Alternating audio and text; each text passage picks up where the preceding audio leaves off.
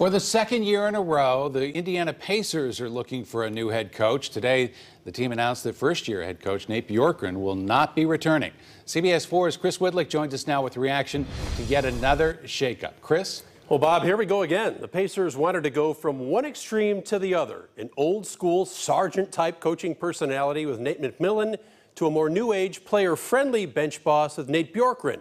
Well, the reboot begins now. The Pacers firing Bjorkgren after one roller coaster injury filled season that saw 34 wins, 38 losses, and no playoff berth.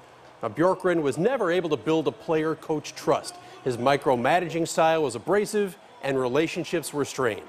The team lacked leadership on the bench and in the locker room, so Kevin Pritchard felt like he had to make yet another change. Uh, I would say this was a really tough decision uh, one that had a lot of thought behind it, a lot of deliberation. We're, we're thankful for Nate. Nate worked his tail off. Um, there's some things he did well. There's some things I think he wish he would have done differently. But, uh, you know, for a lot of reasons, uh, but probably the biggest one is we look at our goals of what we're trying to accomplish, and then we line them up with the timelines. And um, uh, for right now, we felt like that this was the best decision going forward.